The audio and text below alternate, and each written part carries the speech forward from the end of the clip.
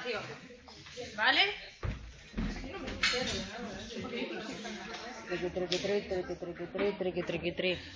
Esta respuesta, chicos, venga, centrémonos. ¿Os acordáis del último, del último, del último tema que vimos? Sí. ¿Sí? Del tema 10, de los eh, potencial de extracción, potencial de reposo, de la mezcla de iones que entran, que salen, que tienen cuánto. La última pregunta que yo os puse, puse esto, durante el potencial de acción se, observa, se observa A, B, C y D.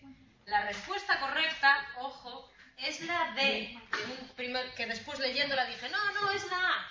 No, no, leyéndola con calma es la D. Durante el potencial de acción se observa, en primer lugar, un incremento rápido de la conductancia para el sodio. ¿Vale? El sodio es el que de repente hace así, ¡fium! ¿Vale? Y seguido de un incremento algo más lento y menos elevado la conductancia del potasio. El potasio se que hace así. ¿Vale? esta respuesta está bien. Lo que sale en la grabación, no. En la grabación dábamos por buena la opción A, que es justo la inversa. ¿Vale? Fallo mío como vuelvo dormida la mitad de los lunes, pues vale. Entonces, recordar, la respuesta correcta es la D. Cuando se origina un potencial de acción, lo primero que se abren son los canales para el sodio que entran de una manera muy rápida. Y para el potasio, entra de una manera más lenta, más sostenida y alcanza menor velocidad que para el sodio. La diferencia entre que yo cierro los canales de sodio y cierro los canales de potasio es lo que te marca un periodo refractario absoluto y un periodo refractario relativo. ¿Bien? Perfecto. ¿Qué tal? ¿Chapasteis mucho? Una cosa loca, ¿no?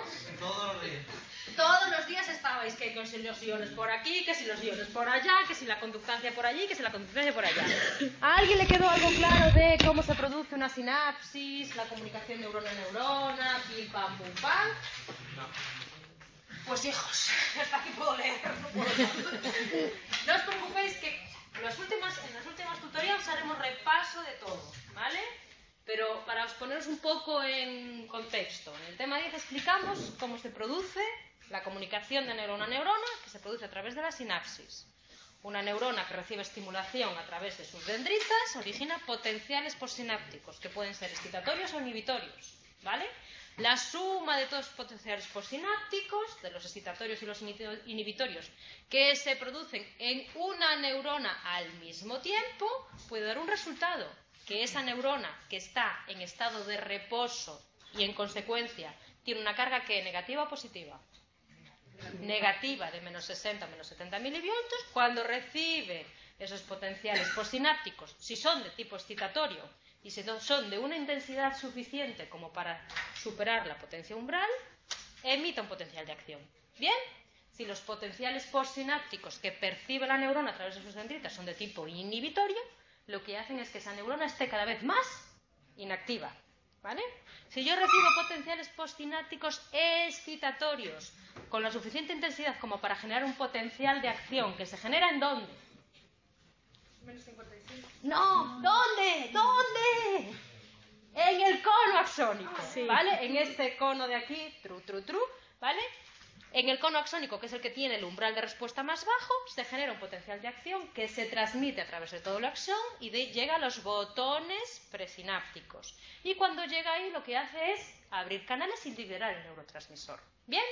Es esa sustancia química, es ese neurotransmisor el que viaja desde la neurona presináptica a la neurona postsináptica y hace lo mismo. Genera un potencial postsináptico en la neurona postsináptica, tin, tan, tum, tum, y se repite.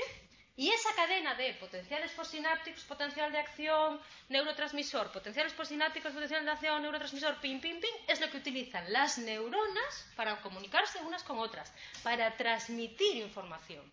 ¿Vale? A la menudo speech. Venga todos para casa. Vale, perfecto. ¿Qué es lo que vamos a ver ahora en el tema 11, en el tema 12, en el tema 13 y en el tema 14? ¿Cómo utiliza mi cuerpo esa comunicación de neuronas para transmitir información? Vale. En el tema 11 veremos cómo utilizamos los potenciales de acción para que la información entre desde el ambiente que me rodea hasta mi encéfalo. ¿Vale? ¿Cómo voy a tener mis sistemas de tipo sensorial? Entonces, ¿qué es lo que voy a ver en el tema 11? Como un estímulo, que puede ser una señal luminosa, una señal táctil, una sustancia química que yo meto en la boca lo que sea, ¿vale? Tiene que transformarse para a un impulso nervioso para que llegue a mi encéfalo. ¿Bien? ¿Qué es lo que voy a ver yo en el tema 12, 13 y 14? Cómo a partir de ese estímulo que ha llegado a mi encéfalo, mi cuerpo genera una respuesta. ¿Vale? ¿Qué puede ser? Una respuesta motora, puede ser una respuesta hormonal o endocrina, puede ser una respuesta inmunitaria. Imaginaros que, a mi encéfalo le llega la señal de que se está produciendo un ataque por un virus o por una bacteria. Pues tiene que emitir una respuesta que sea defensiva. Eso lo veremos en el tema 14 de la psiconeuroinmunología, no sé qué movidas, ¿vale? ¿Qué veremos en el tema 13? Cómo se produce la respuesta de tipo hormonal a través de las distintas glándulas de mi cuerpo. ¿Qué veremos en el tema 12? ¿Vale? Cómo se produce la respuesta de tipo motor.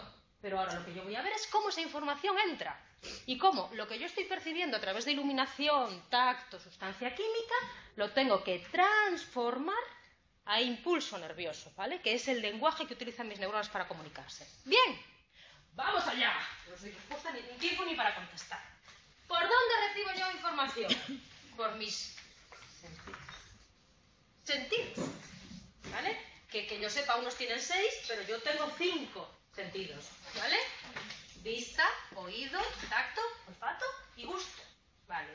¿Qué hacen esos sentidos? Coger la energía, ¿vale? Que me rodea y la traducen al lenguaje de las neuronas. Eso es un proceso que se llama, de manera genérica, transducción sensorial.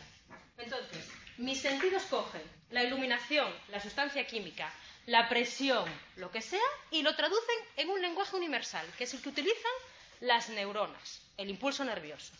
Si todas las neuronas de mi cuerpo utilizan el mismo lenguaje, ¿cómo sé que lo que estoy percibiendo es un impulso táctil, un impulso químico, o sea, eh, es un estímulo táctil, un estímulo químico y demás? Porque ese lenguaje universal llega a distintas zonas del encéfalo, ¿vale? Y en función de la zona a la que llega, se percibe como un estímulo visual, un estímulo auditivo además. Eso es el que se llama ley de las líneas marcadas. ¿Vale? ¿Cómo sé que lo que estoy que lo que estoy transmitiendo por un impulso nervioso es un estímulo visual? Porque llega a esta zona de aquí.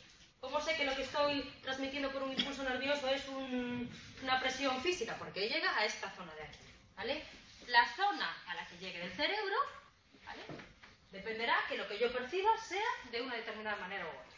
¿Vale? El estímulo que yo percibo a través de mis distintos receptores sensoriales, que ahora veremos cómo son, yo tengo que saber de él tres cosas básicas. Venga. Si es fuerte o débil. Si es largo o corto. O en qué zona se produce. No es lo mismo un estímulo que yo percibo a lo mejor en mi mano derecha que el que percibo con mi mano izquierda. Entonces, estas son las características del estímulo que mis receptores sensoriales tienen que codificar en un determinado momento. ¿Qué mecanismo utiliza mi cuerpo para codificar la intensidad del estímulo? Principalmente dos. Venga, uno, un sistema que se llama código de frecuencia y un sistema que se llama fraccionamiento según el rango o código poblacional. ¿Vale? ¿Qué pasa en el sistema de codificación de la intensidad de un estímulo mediante código de frecuencia? Que yo, mis neuronas dispararán con mayor frecuencia a medida que sea la intensidad del estímulo. Cuando el estímulo es cada vez más intenso, mi neurona va haciendo pi, pi, pi, pi, pi, pi, pi, pi, pi. Este es el sistema de codificación de la intensidad mediante código de frecuencia. ¿Qué pasa con este sistema para codificar la intensidad? Que tiene un límite, que llega a un punto en el que la neurona pi no discrimina, no va más allá. Para compensar esta limitación, tengo otro sistema de codificación del estímulo, que es fraccionamiento según el rango o código poblacional, donde tengo neuronas que tienen distinto umbral de respuestas y que van respondiendo unas u otras a medida que va aumentando la intensidad de ese estímulo.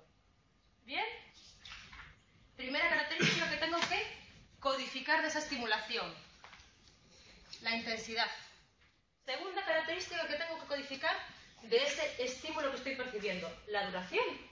Si es un estímulo que dura mucho o es un estímulo que dura poco. ¿Qué pasará con mis receptores? ¿Estarán emitiendo siempre información cuando se produce la estimulación o llegará un momento que aunque se produzca la estimulación.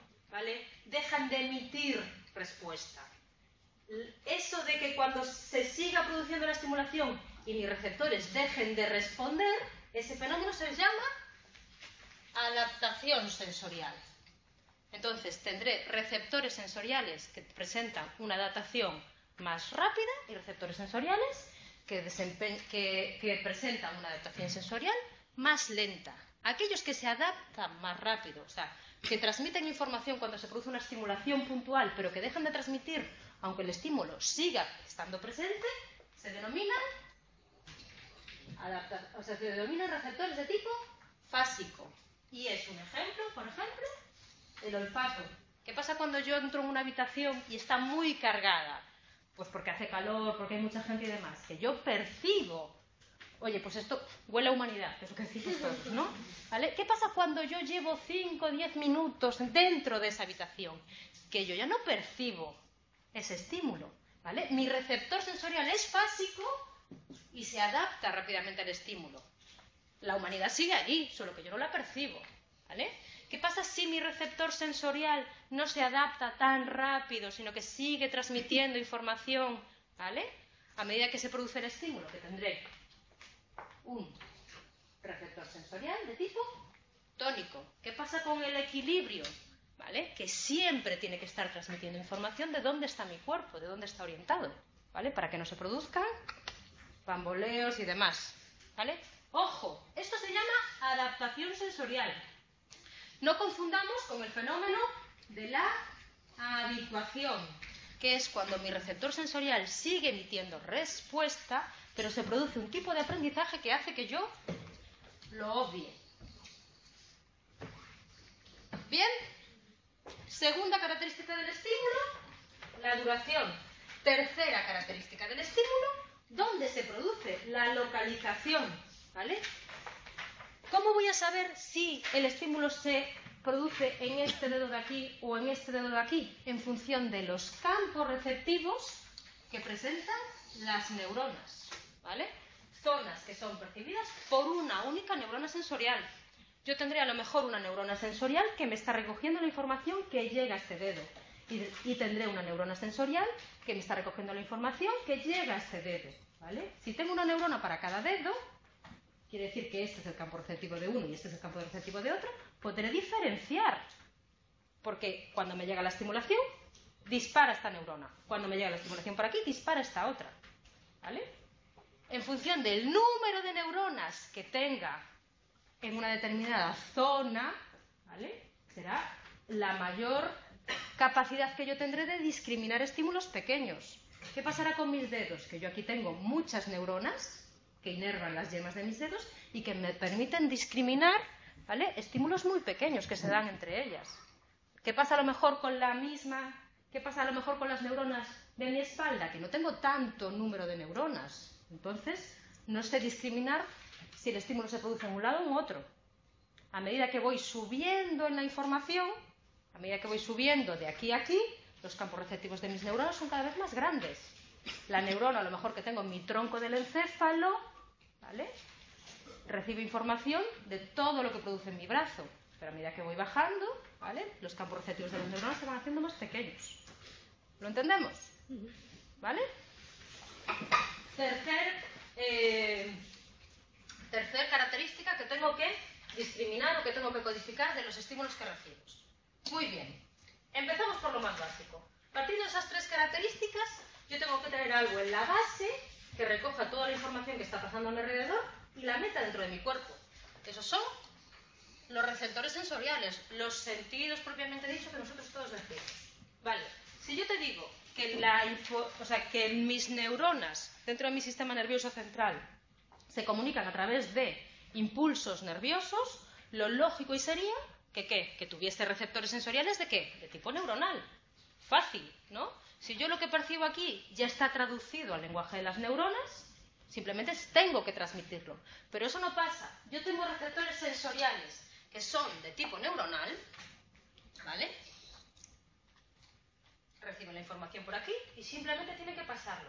Pero tengo receptores sensoriales que son células especializadas, ¿vale? Veremos, por ejemplo, al hablar del gusto, donde yo lo que no tengo no son neuronas, son papilas gustativas con botones gustativos. ¿vale? Esta célula especializada tendrá que traducir la sustancia química que a lo mejor recibe en un impulso nervioso y pasárselo a la neurona siguiente. ¿Bien? Todo esto se hace con lo que nosotros conocemos.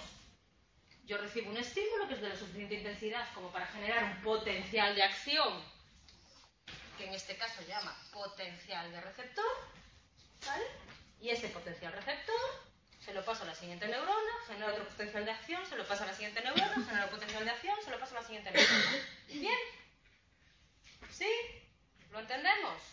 Entonces, la base, lo primero que yo me puedo encontrar cuando quiero meter información dentro de mi cuerpo es bien una neurona, neurona sensorial, bien una célula especializada. ¿Vale? ¿Dónde encontraré neuronas? Olfato, piel y proposición. ¿Dónde encontraré células especializadas? En la vista, en el oído y en el gusto. ¿Vale? ¿Qué célula especializada tengo yo en la vista? Los fotoreceptores. ¿Qué célula especializada tengo yo en el oído? Los cilios, ahora veremos cómo son. ¿Qué célula especializada tengo yo en el gusto? Las papilas gustativas. ¿Bien? Estas de aquí tienen que coger la energía que les llega y traducirla a un impulso nervioso. Estas de aquí directamente ya emiten un impulso nervioso. ¿Vale? Ojo, no confundir el tipo de receptor, si es de tipo neuronal o de tipo célula especializada, ¿vale? Con lo que hace que ese receptor emita una respuesta.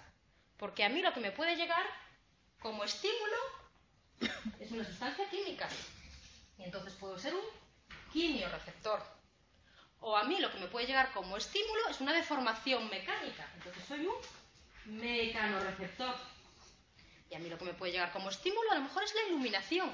Entonces soy un fotoreceptor. ¿Bien? Estos son el tipo de receptor que soy, si es neurona o célula especializada, y esto es al estímulo al que respondo, sustancia química, deformación mecánica o iluminación. ¿Bien? ¿Empezamos a ver el primero? Sí. Vale, pues empezamos con nuestro querido gusto, nuestras queridas papilas gustativas. ¿Vale? Para lo que es el sentido del gusto, yo tengo una célula especializada, que son los botones gustativos. Esos botones gustativos se distribuyen a lo largo de mi lengua, formando papilas gustativas que son capaces de distinguir estas modalidades gustativas. ¿Bien? Dulce, salado, ácido, amargo y una nueva modalidad que es el sabor oriental que le llaman humano. ¿Vale? Esto no es una neurona, esto es una célula especializada que coge la sustancia química que me llega a mi organismo a través de mi boca y la transforma en un impulso nervioso. ¿Sí? ¿Cómo se produce esa transducción gustativa? De la siguiente manera, las sustancias actúan sobre los receptores y abren canales iónicos o activan receptores proteínicos que activan el sistema de segundo mensajero consiguiendo una despolarización que hace que se libere un neurotransmisor entre este receptor de aquí y la neurona sensorial que está a continuación. ¿Bien? Entonces se produce una despolarización que libera un neurotransmisor que le transmito a esta neurona sensorial que tengo a continuación. ¿Bien? Mismo sistema, ¿dónde está, dónde está, dónde está? Que vimos por el que funcionaba la comunicación neuronal esta despolarización que se produce en esta neurona sensorial se se transmitirá a la siguiente, a la siguiente, a la siguiente, hasta que llegue a una zona específica de mi encéfalo. ¿Vale?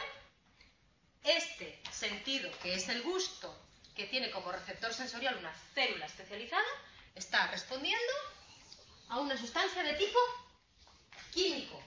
¿Bien?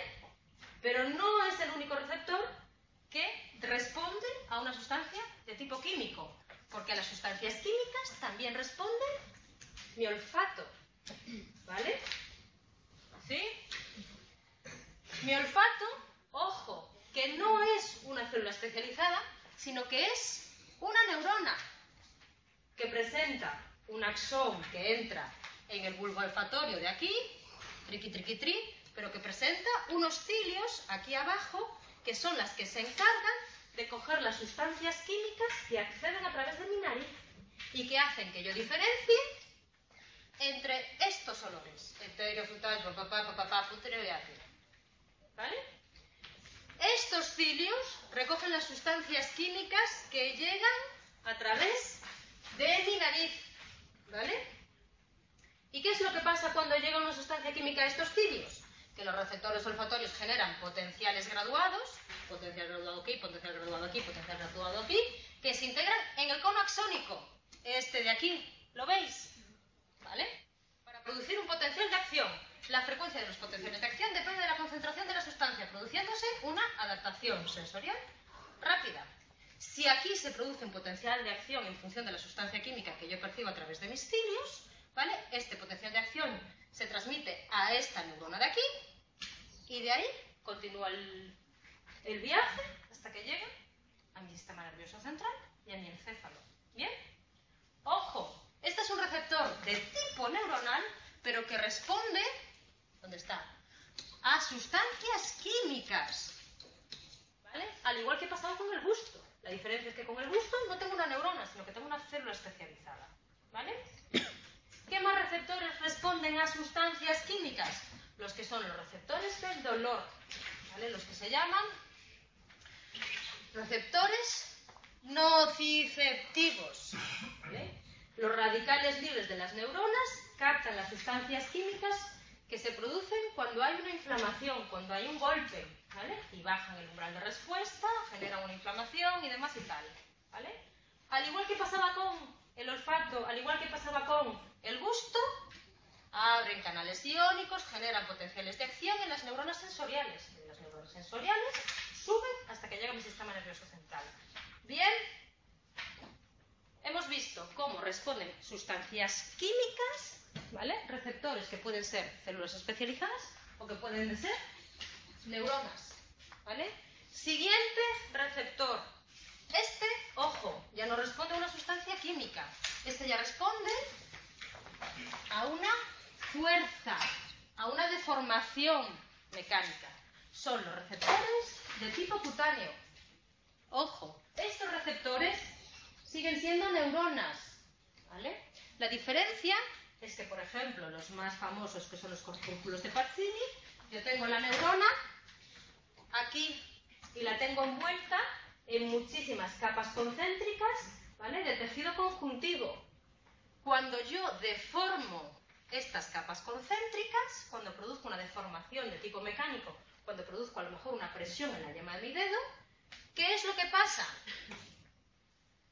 Que activo estos canales meconosensibles. Son canales, ¿vale? Que ya no se activan por sustancias químicas, sino que se activan por deformación mecánica.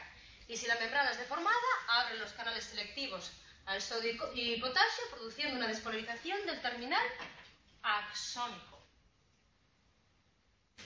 Bien, este receptor sensorial es de tipo neuronal, pero no responde ante una estimulación de tipo químico, responde ante una estimulación de tipo mecánico. Pero el sistema es lo mismo, recibe una estimulación que es lo suficientemente fuerte como, abrir, fuerte como para abrir los canales de sodio y potasio, produce un potencial de acción y ese potencial de acción se transmite desde este receptor de aquí hasta la neurona sensorial. ¿Bien? ¿Qué receptor me queda?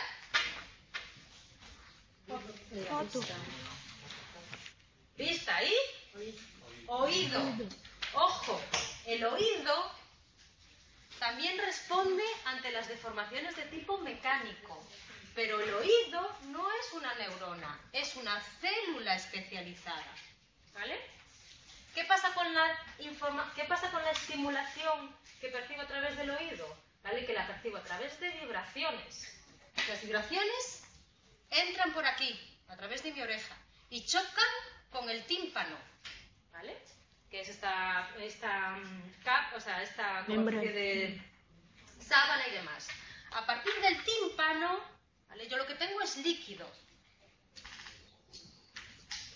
Se llama perilinfa, ¿vale? Este líquido que rodea la cóclea, no sé cuánto, pim, pim, pim, que hace no sé cuántos de círculos y demás, ¿vale? Al final choca con una célula especializada que se llama estereocilios, que hace que esa célula se mueva. Ese movimiento, esa deformación mecánica, es la que hace que se abran los canales, canales iónicos que hacen que pase el potasio hacia el interior y producen la despolarización. Entonces, este receptor sensorial también responde ante los estímulos mecánicos, porque este receptor sensorial emite una respuesta cuando sus cilios se mueven, se deforman, ¿vale? Pero es una célula especializada. Los corpúsculos de Pacini, yo lo que tenía era una neurona, ¿vale? Se deforman los cilios, se abren los canales de sodio y potasio, se genera un potencial de acción que se transmite ante la célula siguiente. Bien. Último receptor sensorial que me queda, que es el que más chulo de todo lo que por ver. Los fotoreceptores, los que yo tengo en mis ojos, los que están transmitiendo la luz y haciendo que discrimine ¿vale? lo que está pasando alrededor a través de mis ojos. Bien, son células especializadas. Y son células especializadas de dos tipos. Conos y bastones. Conos y bastones. ¿Vale?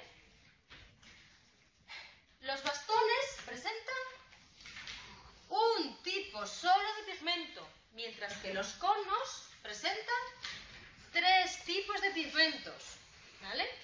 Los bastones son más sensibles a la luz y amplifican la señal luminosa, con lo cual quieren decir que son los encargados de hacerme ver cuando no hay iluminación. Mientras que los conos, al presentar tres tipos de pigmentos, son los responsables de la visión cromática. ¿Quiénes tendrán mejor resolución espacial y temporal? Los conos de aquí, los bastones lo único que se hacen es discriminar grandes formas, Los que tienen mayor resolución de aquí son estos conos, que además son los que me permiten diferenciar si lo que vosotros tenéis es un color rojo, verde, amarillo, azul y demás, La diferencia entre célula especializada bastón, célula especialidad cono, además de que uno es para responsable para la visión nocturna y otros para la visión cromática, hace que distinga entre dos sistemas visuales. Uno, que se llama escotópico, propio de los bastones, visión nocturna, y otro fototópico, propio de los conos, visión diurna y cromática. ¿vale? La diferencia radical entre la, información o la recepción del estímulo en el sistema visual con, el que vimos anterior, en la anterioridad con todos los receptores sensoriales es que aquí la información se transmite no por una despolarización, sino por una hiperpolarización. ¿Bien? En ausencia de luz, cuando yo tengo los ojos cerrados, ¿vale? los iones sodio están entrando, lo que hace que se produzca una despolarización y la liberación continua de este neurotransmisor de glutamato. ¿Qué pasa cuando yo abro los ojos? ¿Qué pasa cuando mis conos y mis bastones están recibiendo luz, están recibiendo estimulación? Que se produce todo lo contrario. Se cierran esos cañones de sodio, ¿vale? Y el glutamato deja de liberarse, se produce una hiperpolarización. Es esta hiperpolarización el que marca la señal de salida para que esa información llegue, en este caso, a mi lóbulo occipital. Entonces, nosotros hemos visto hasta ahora que todos los sentidos, o todos los sentidos que hemos visto hasta el momento, reciben una estimulación, se produce una despolarización en el receptor, que puede ser bien célula especializada, bien neurona, y esa despolarización se transmite a la neurona sensorial. Pues aquí pasa al revés. Cuando yo tengo los ojos cerrados es cuando se produce la despolarización. Y cuando recibo la estimulación, produce todo lo contrario. Se produce una hiperpolarización. ¿vale? Y es esa hiperpolarización la que marca la señal de inicio para transmitir ese estímulo visual a mi lóbulo occipital. ¿Vale? ¿Cómo? La luz descompone los, fotopigmentos formando una proteína G que activa la degradación del segundo mensajero GMPC, que es el que mantiene abiertos los canales de sodio. ¿Bien? Vale, ¿qué hemos visto ahora? Hemos visto el primer paso, el que consiste en todas las energías que me rodean entran en mi cuerpo a través de los distintos receptores. Receptores que pueden ser visuales, auditivos, olfativos, ¿qué más? Y táctiles. ¿vale? Bien. ¿Qué es lo que tengo que, que, tener yo al inicio? Alguien que capte lo que está pasando a mi alrededor. Eso se llama receptor sensorial, que puede ser neuronas de dos tipos, neuronas o células especializadas. ¿Vale? Con las neuronas no tengo problemas porque ya eh, hablan el mismo idioma que el resto de las neuronas. ¿vale? Los receptores sensoriales tienen que cambiar un poco lo que reciben alrededor y recibirlo. ¿Bien? Y transmitirlo. ¿Bien? Vale, ojo. El estímulo que yo recibo y que transmito al interior de mi cuerpo puede ser un estímulo químico, un estímulo mecánico o un estímulo luminoso. ¿vale? Por eso se habla de quimioreceptores, mecanorreceptores y fotoreceptores. Todos ellos básicamente funcionan de la misma manera. Reciben un estímulo, lo transforman en un potencial de receptor, se despolarizan, lo transmiten a la neurona sensorial. ¿Bien? Todos hacen lo mismo, excepto uno, que es el sistema visual. ¿Vale? El sistema visual presenta como receptores unas células especializadas que se llaman conos y bastones. Conos encargados de la visión cromática, bastones, bastones encargados de la visión nocturna, ¿vale? Entonces, es el único sistema que funciona al revés que todos los demás. Cuando no está percibiendo estimulación, cuando no recibe luz a través de los ojos, pim, pim, pim, pim, despolarización, despolarización, despolarización. Y cuando yo abro los ojos y recibo iluminación, sucede todo lo contrario. Me hiperpolarizo y transmito una, una, una señal, ¿vale? Bien, ¿cuál es el paso siguiente? Lo que yo recibo a través de mi receptor sensorial, a través de mi receptor visual, a través de mi receptor olfativo, ta, ta, ta, ta, ta, ta, transmitirlo a mi encéfalo. Entonces tiene que haber ahora un encadenamiento de sinapsis, ¿vale? Hasta que llegue a una determinada zona en concreta de mi encéfalo. Porque en función de la zona del encéfalo al que llegue, yo percibiré un estímulo visual o un estímulo auditivo, gracias a la ley de las líneas marcadas. ¿Bien? Vale, pues ¿qué me voy a encontrar yo ahora? Un receptor que hace sinapsis con una neurona de tipo bipolar, que hace sinapsis con una neurona de tipo ganglionar. ¿Por qué? Porque yo tengo los receptores en mi sistema nervioso periférico y de mi sistema nervioso periférico tiene que pasar al sistema nervioso central y el sistema nervioso central tiene que acceder hasta el encéfalo. ¿Bien? Eso es un procesamiento que se llama en serie.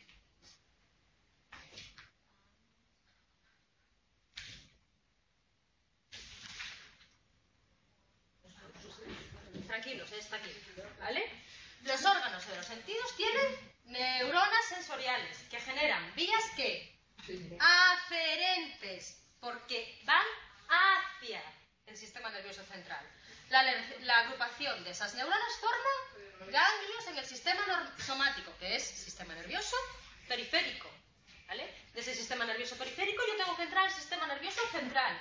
Estas neuronas de aquí, neuronas sensoriales, tendrán que hacer sinapsis con neuronas del sistema nervioso central, que serán las neuronas sensoriales de segundo orden o secundarias, bipolares, ganglionarias, ¿vale?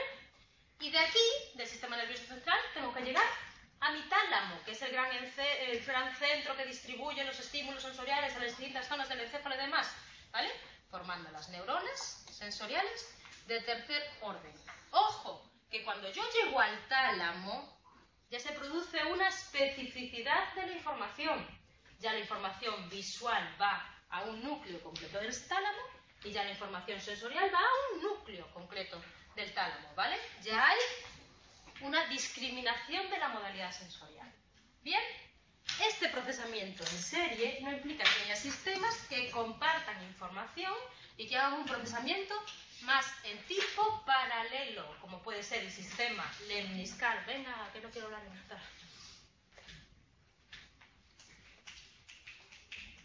Como puede ser el sistema lemniscal y el sistema anterolateral.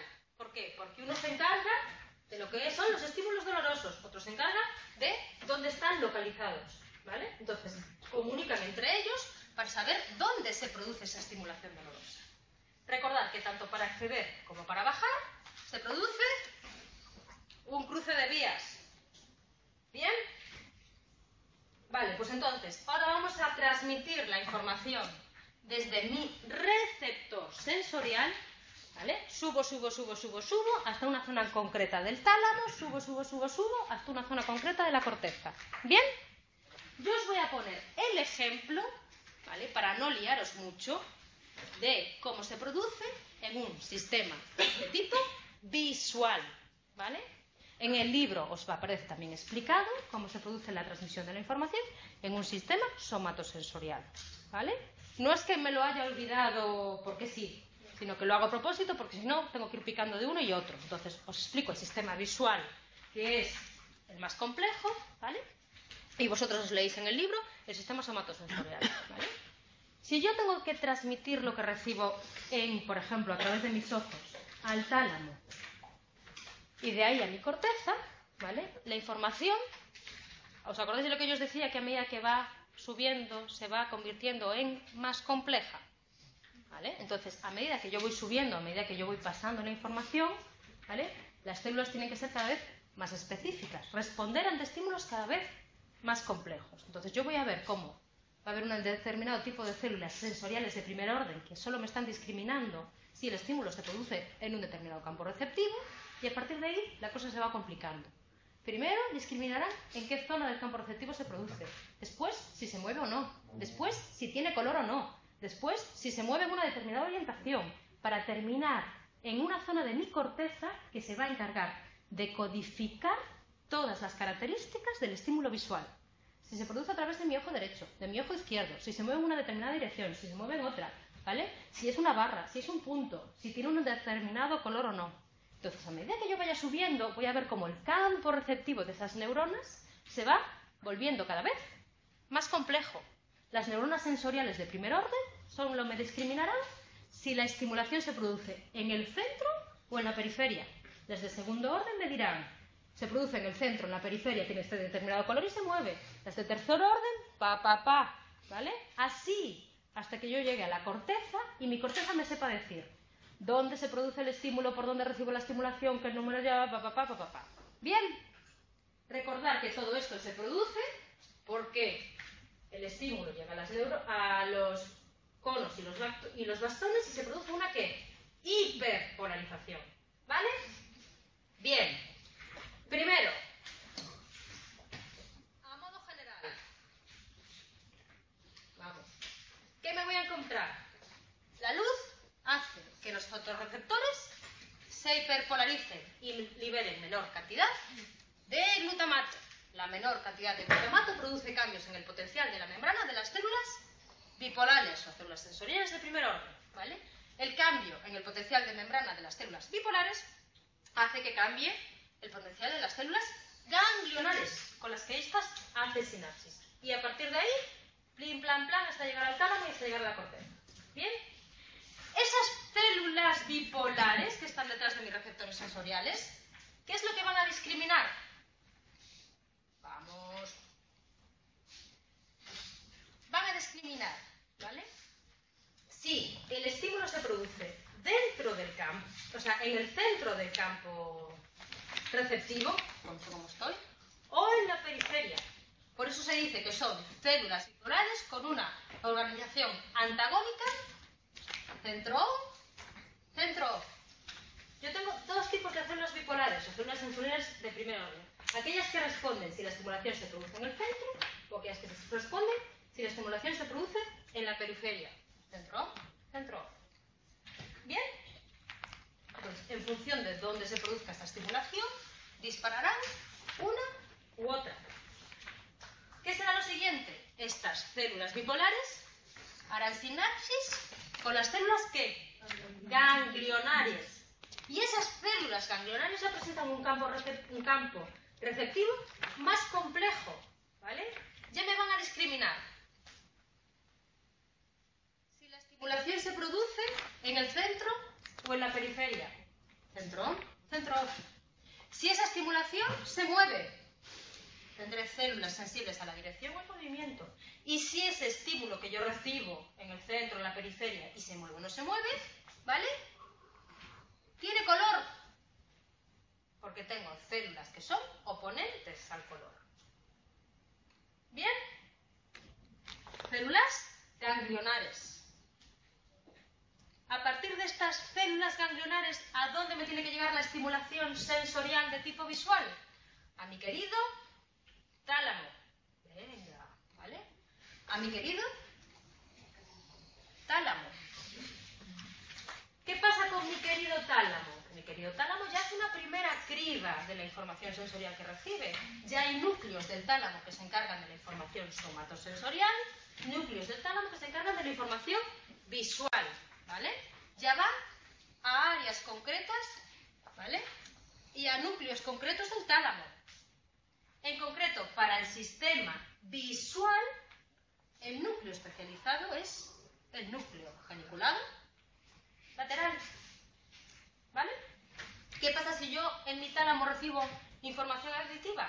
Que esa información llega al núcleo vinculado medial. Entonces, aquí ya tengo una primera criba de la información. La información visual llega a este concreto, a este núcleo concreto. Pero ojo, no toda la información llega a las mismas capas de ese núcleo geniculado lateral. En ese núcleo geniculado lateral, ¿vale? Tengo seis capas. Las dos primeras se llaman capas magnocelulares y son estas de aquí, ¿vale? Y las restantes son las capas parvocelulares, que son estas de aquí, ¿vale? ¿Qué información llegará a las capas magnocelulares? Campos receptivos grandes que responden a objetos de gran tamaño. A las capas magnocelulares llegan las características generales del estímulo que yo percibo a través de mis ojos. La información precisa, los detalles, ¿vale? Llegan a estas neuronas eh, parvocelulares, ¿vale? Que se producen en las capas 3 y 6. Entonces ya no solo es que haya distintos núcleos en el tálamo, sino que dentro de la información visual en el núcleo magnocelular, ¿vale? Núcleo geniculado lateral, ¿vale? En función de la información que yo reciba, va a una determinada capa u otra. ¿Sí? ¿Vale? ¿Cuál será el siguiente paso después del tálamo? Llegar a la corteza. Si yo quiero hacer un procesamiento consciente, superior y demás de la información que yo recibo a través de mis ojos, pasar del núcleo geniculado lateral a la corteza. ¿A qué zona de la corteza? A una zona específica. Recordad que eso me lo marca la ley de las líneas marcadas. ¿vale? Hay áreas sensoriales primarias que diferencian en función de la información que reciben. ¿Y qué le pasa en esa información a las áreas corticales secundarias y posteriormente a la corteza de asociación? ¿Os acordáis de lo que vimos? Sensorial primario, sensorial secundario, asociación. ¿Qué pasará cuando yo quiera emitir una respuesta de tipo motor? Que el camino es a la inversa de la corteza de asociación, pasaré a una corteza motora secundaria y una corteza motora primaria. Pero eso ya lo veremos en el tema visibilidad, ¿vale? Entonces, después del tálamo, la información llega a la corteza, a una área específica de la corteza, que es el área sensorial primaria, ¿vale? En el caso de lo que son los estímulos de tipo visual, ¿dónde está mi corteza visual primaria? Aquí, en el lóbulo occipital. ¿Vale? Estas neuronas que tengo aquí y que reciben la información, ¿vale? A través del tálamo, ¿de qué? Del núcleo geniculado lateral del tálamo, también son capaces de diferenciarme distintas características de los estímulos. Tendré células simples dentro de esta corteza y células complejas dentro de esta corteza. ¿Vale? Las células simples, al igual que las eh, neuronas bipolares, me discriminan un estímulo, pero ya no un punto, sino una barra alargada. ¿Vale? Las células complejas, al igual que las neuronas ganglionares, me discriminan el movimiento de esa barra alargada. En concreto, si el movimiento se produce en una determinada orientación. ¿Sí? Vale. Toda esa información, recordad que... ¿Cómo, está? ¿Cómo lo lleváis? Venga, a ver, no, os estreséis, no os estreséis. Venga, os lo voy a sintetizar. Olvidaros de las células complejas y demás. ¿Vale? Ay, por Dios, es que estaba yo muy lanzada.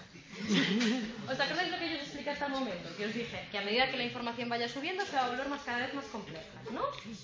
Entonces yo tengo mis receptores sensoriales visuales, que son los conos y los, y los bastones, que cuando reciben esa información pasan, de pasan esa información del receptor a una neurona o a una célula que vamos a llamar bipolar. ¿Vale? Esa información que tiene la célula bipolar pasa a la célula o la neurona ganglionar. Y de ahí pasa al tálamo. Primer tramo de la información, ¿vale? Quedaros con eso. Bueno, pues en ese primer tálamo de la información yo tengo que ser capaz de decidir si el estímulo que yo percibo se produce en el centro o en el fuera de un campo receptivo, si se mueve y si tiene color. ¿Vale? ¿Quién me está diciendo si el estímulo se produce en un campo receptivo, centro o fuera? La célula bipolar, ¿vale? Que tiene un campo receptivo que se llama on-off. Hay células bipolares que responden cuando el estímulo se produce en el centro y células bipolares que responden cuando el estímulo se produce en la periferia. ¿vale? Las células más sencillas de todo, células bipolares. Siguiente sinapsis, células ganglionares. Ahí la cosa se complica un poco más, porque ahí ya tengo células que son oponentes, eh, centro un centro off en función de si se mueven y en función de si tienen color y en función de la dirección en la que se mueven. ¿Bien? Vale, paso al tálamo. Perfecto, a una zona específica del tálamo que es el núcleo geniculado lateral. Si el estímulo es grande, si yo lo que tengo que sintetizar es simplemente una cosa ahí grande que, que está en el fondo, voy a una capa concreta de ese núcleo geniculado lateral. Si yo tengo que fijarme en los detalles y demás, soy una información que pasa a otra capa en concreto, ¿vale? Del núcleo geniculado lateral. Bien, paso el tálamo, llego a la corteza y en la corteza tengo sintetizar todo lo de antes, ¿vale?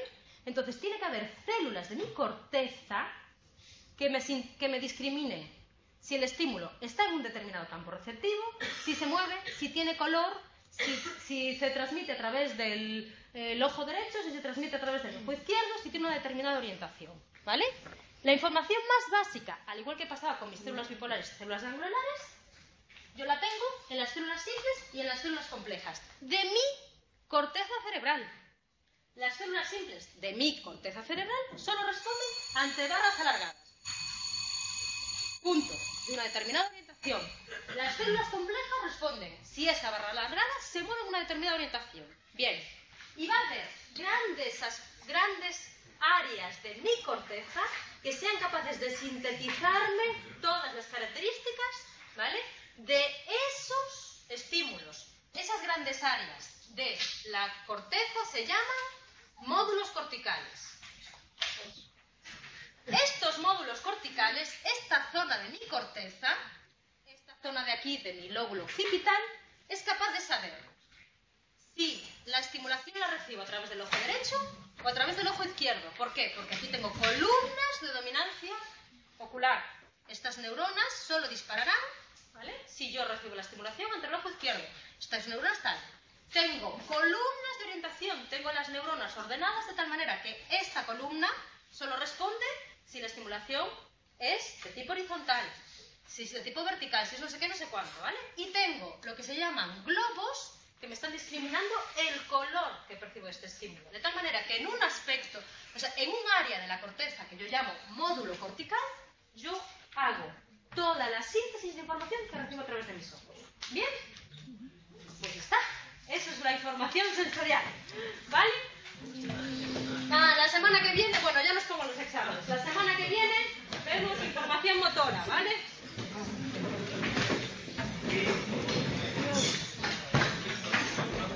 Dígamelo.